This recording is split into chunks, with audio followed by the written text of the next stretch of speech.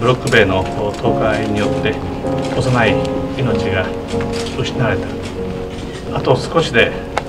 安全な学校の敷地内に入れるという場所での悲惨な悲しい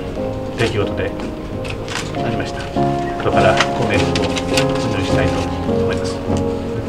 学校の安全を確保するためまずは全国のブロック塀の緊急点検を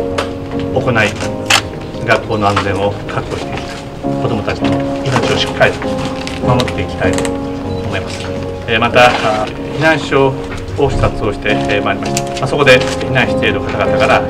大変なご苦労そして不安なお気持ちについてお話を伺いました。被災された皆様が